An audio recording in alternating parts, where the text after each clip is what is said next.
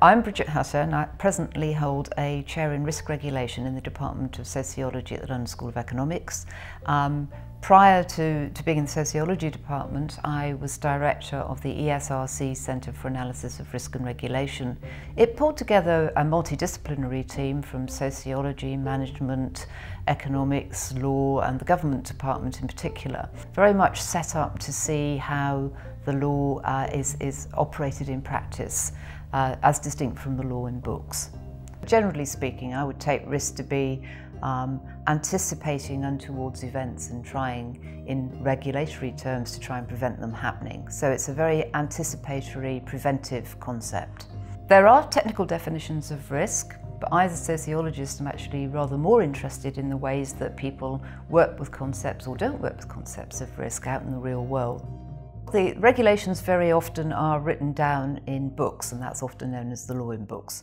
Uh, but actually, when it's operationalized, if you like, or it's implemented, it's implemented by people and by organisations. And they often don't have very strict legal criteria to work with. So they have to um, enforce the law using a, a, whole range of other criteria. Uh, those criteria might include the sort of social interactions that they have with, um, with the people they're regulating, uh, they make judgments about whether or not they believe what they're being told. So the social and um, economic and political environment can come to bear on the ways in which the law in books is actually translated into action. And it's those sorts of decision making that I, I look at and so do other socio-legal scholars.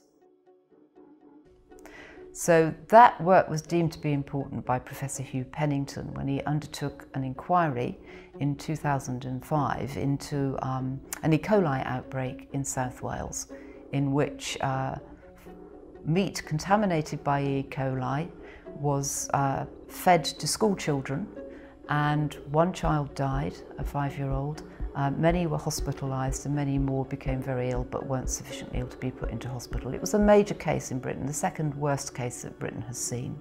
The case happens in a small Welsh village where there's a very um, respectable, apparently, butcher's that's been there for many, many, many decades, a family firm. And they're, they're trusted. They're trusted by the local schools who buy their meat from them. They're trusted by the local community. Quite misplaced trust, but this also starts to affect the way in which the law's being enforced as well. Hugh Pennington asked me to put together a report based on my research, which might help him understand how enforcement worked in the area, but also how businesses coped with that enforcement and coped with managing risk.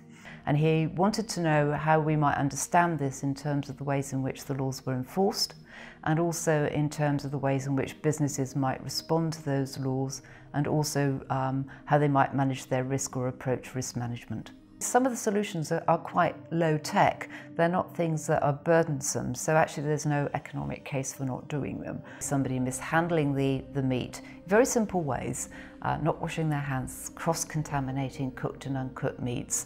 So they often can happen because of production pressures, but also because of a very poor working environment and risk culture, which again comes down to the sorts of organisational and, and social environments within which people are working.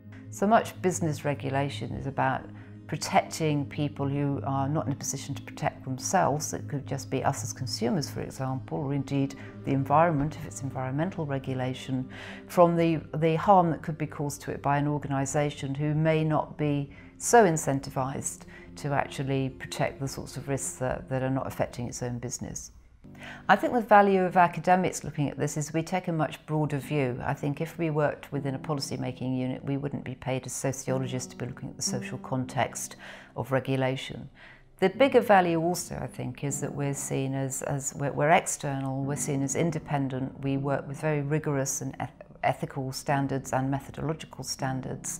Um, we're not coming with any particular gripe or, or interest in, in, in mind. So we're, we're simply there trying to understand how things work. Do they work, don't they work? And actually, I suppose in a sense, that has a spin-off, which is, is to uh, inform policymakers also about what's going on.